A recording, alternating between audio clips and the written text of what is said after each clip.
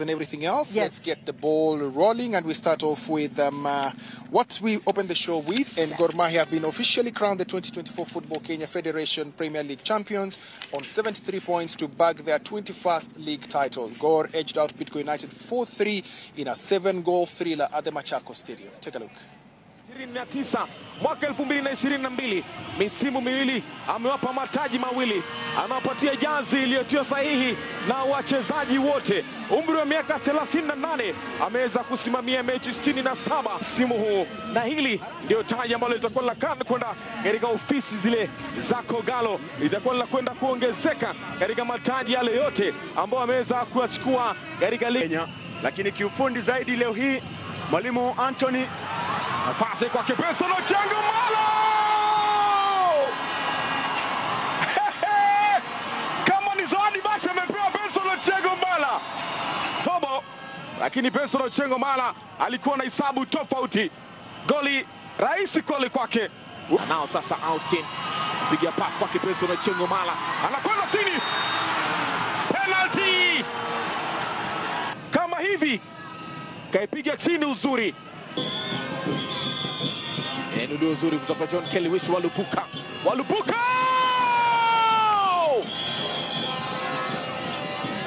John Kelly Wish Walupuka. Na 21. Tafuta na John Kelly Wish Walupuka. John Kelly Wish Walupuka. Lawrence Juma anaipiga Oh! Ina punch.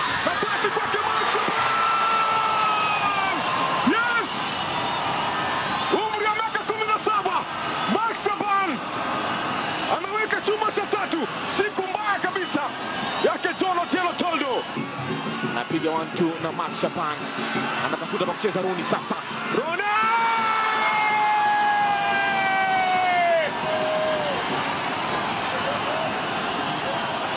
Anayemtaka mpaka avunje benki, alitaka Benson Ochengo Mala, lakini Roni alijua anapotaka, sio mgeni wa kufunga.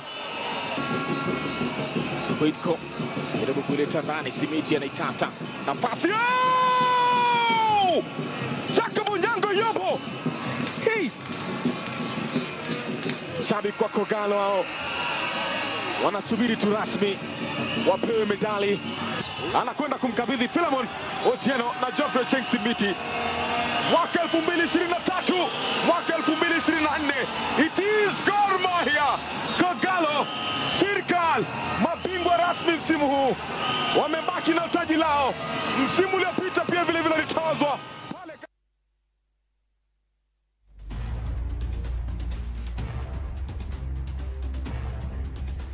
litawazwa Leopards finished the season on a high after beating Ulinzi Stars 1-0 at the Ulinzi Sports Complex. Leopards scored the lone goal of the match in the second half of the match. zile ishara zake uh, kutokuwa na umakinifu, lakini Ulinzi Stars kajibu vizuri sana pale uh, Levis Opio katoa ule mpira ambao kidogo uingie pale. Uh, kijana Bikokwa pata nafasi nzuri sana pale kwa kichwa, jaribu kufunga na Ili- uh, ukagonga mwamba. na ilikuwa ni nafasi ambayo ilikuwa tayari ashapatikana mlinda mlango Levis Opio, maana kugonga chuma kile kurejea uwanjani. Hii hapa ilikuwa nafasi nyingine, eh, Victor Omune akajaribu kuipenyeza, lakini tazama alivyo piga ovyo kabisa hapa mchezaji Hassan Beja. Hii ilikuwa nafasi ya Beja kuweza kujiandikisha goli jingine na goli la kuongoza kwa AFC Leopards, nafasi ya yeye dhidi ya Isa Emuria. Uh, bila shaka na alikuwa makosa yake Samuel Makwata, lakini goalkeeper Emuria alitoka vizuri na kufanya mwili wake ukawa mkubwa, lakini hili ni lile tukio ambalo lilikuja baadaye kipindi cha pili, uh, penalti yake Bikoko ambaye alianza kusherekea kabla mapema mapema sana. Lakini ukiutajiuliza pia eh, Kennedy Owino alikuwa anapiga nini? Alikuwa anapiga mpira ama alikuwa anapiga vita? Lakini hapo ukiangalia eh, penalti ambayo anaikosa hapa inachezwa ina, ina, na mile mlango Levis Opio, ni kama Levis Opio angalau anarudisha ile imani kwa mashabiki wa AFC Leopards. Lakini hapa ilikuwa na nafasi nyingine kipindi cha pili, eh, Ronald Sichenje pembezoni kushoto, Victor Omune akamwanzia Sichenje tena akaingia yeye kwenye kijisanduku, lakini shuti lake moja kwa moja likawa hafifu kwa Isa Emuria. na ni nafasi ambazo zilianza kuonekana haswa huu upande wa kushoto wa timu ya AFC Leopards. Walijenga nafasi nyingi sana kutoka upande huu. Sichenje Shichenja ambaye tunajua kwamba huwa anamakinika aliweza kujaribu kushuti pale na pia kwa mara ya pili upande ule wa kushoto mm. eh, kijana Maxwell Otieno kapata nafasi nzuri sana kamtoka na hili ndilo goli ambalo aliweza kuunganisha mchezaji mwite Victor Omune Ochami, goli lake la nane la msimu, lakini dhambi ambalo lilifanyika kwa mchezaji nguvu mpa eh, mwite Maxwell Otieno. Mwisho wa siku unapata kwamba Brian Wanyama ni fundi wa mipira mifu kwa upande wa FC Leopards, ameng'ara sana msimu huu, na hili ndilo goli ambalo moja kwa moja likasema kwamba ni home and away. Bila shaka kila mmoja ana njia yake ya kusherehekea. Mwisho wa siku Ulinzi Stars sufuri FC Leopards goli moja, ngoma ikatamatika.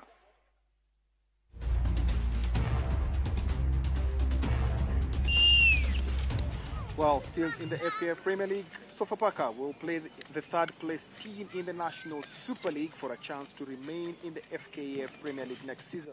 Sofapaka beat Nzoia Sugar 3-1 to send Muhoroni Youth to relegation. Muhoroni were held to a 1-1 draw by Posta Rangers in their final match of the season at the Muhoroni Stadium.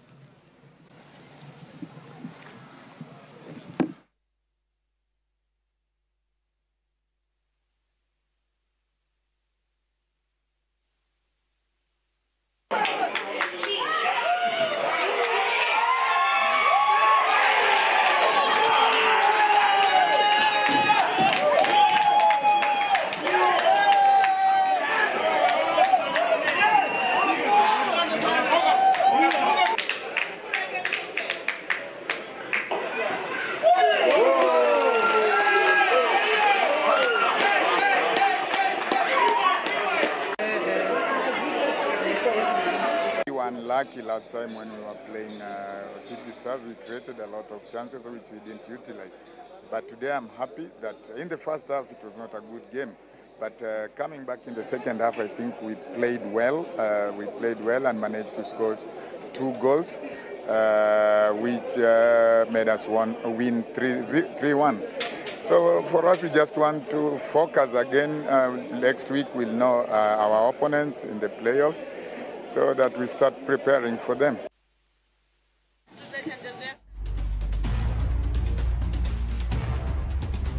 Shabana. Now, Shabana will leave to fight another season in the FKF Premier League after surviving relegation on the last day. Shabana needed a win against bitter rivals Muranga Seal at the St. Sebastian Park in Muranga. They won a 1 0 after scoring in the 40th minute, then sat back to protect the lead in the second half.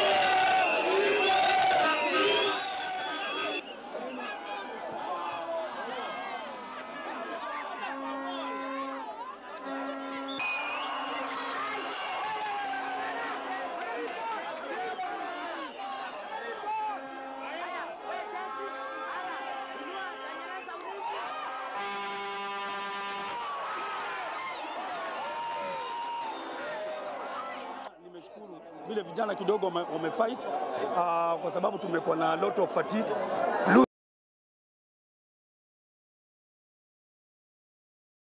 Main team Dennis Ochi and Munyovi it has been serious for the team. I don't understand why the Kenya Premier League today cannot attract, for example, the winners cannot attract a prize money of 50 million shillings and above. We can uh, be able to pull in so much resources if we only put our house in order.